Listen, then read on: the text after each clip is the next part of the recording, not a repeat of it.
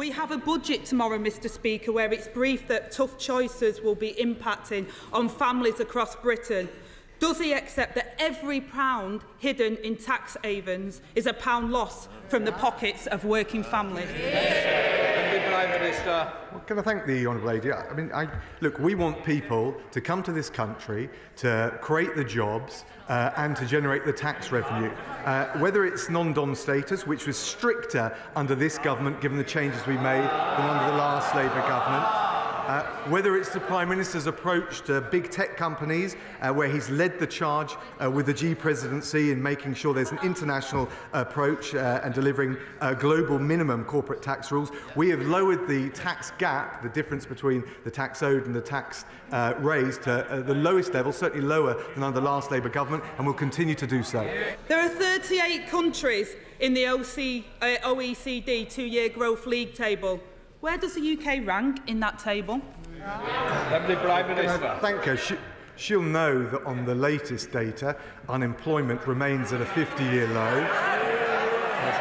Yeah. Well, she's saying the, the, the Shadows Chancellor is saying it's gone up. It's half the level left by the last Labour government answer the question for the Deputy Prime Minister, the answer is 38 out of 38 on growth. If there was a World Cup for growth, we wouldn't even qualify. Working people are paying the price for 12 years of Tory failure. The wrong choices by the wrong people. Now, after days of dodging and denial, this morning the Deputy Prime Minister finally acknowledged formal complaints about his misconduct. But his letter contains no hint of admission or apology. This is anti-bullying.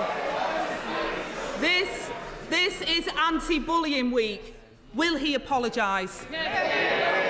Deputy Prime Minister. Can I thank the Right Honourable Lady? Look, in terms of the economic challenges which are global, caused by COVID and the war in Ukraine, we've got a plan to grip inflation, balance the books and drive economic growth. If we listen to the Honourable Lady, debt would go up, unemployment would go up and working Britons would pay the price. She asked, she asked, she asked about uh, the complaints. I received notification this morning. I immediately asked the Prime Minister to set up an independent uh, inquiry into them. I'm confident I behaved professionally throughout, but of course I will engage thoroughly and look forward, Mr Speaker, may I say, look forward to transparently addressing any claims that have been made. Angela Rayner.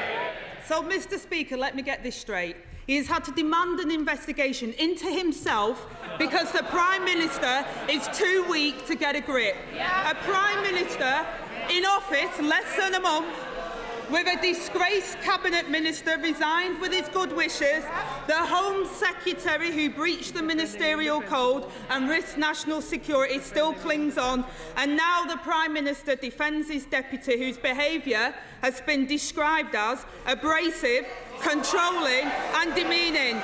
With junior staff, Mr Speaker, too scared to even enter his office.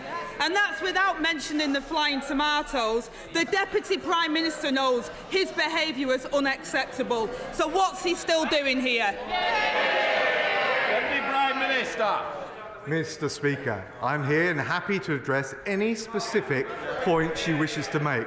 Uh, well, that never happened, uh, she says from a sedentary position, and I uh, will thoroughly rebut and refute any of the claims that have been made. Thank you, Mr Speaker. Maybe he just doesn't think there's a problem, or maybe he's suggesting that civil servants are liars.